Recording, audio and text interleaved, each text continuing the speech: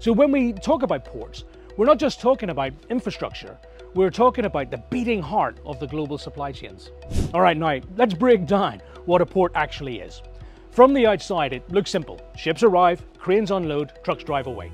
But in reality, a port is a living ecosystem made up of heavily specialized organizations. The Port Authority is like the landlord.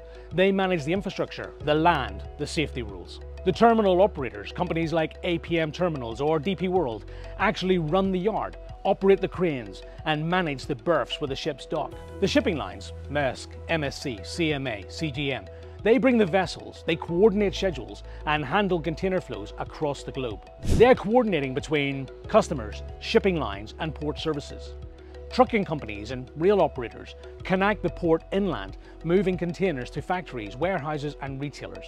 And then there are the warehouse operators, logistics service providers, IT and technology companies, all building the systems that track and manage the flow. A port is not one business, it's dozens of businesses, each highly specialized, all interdependent.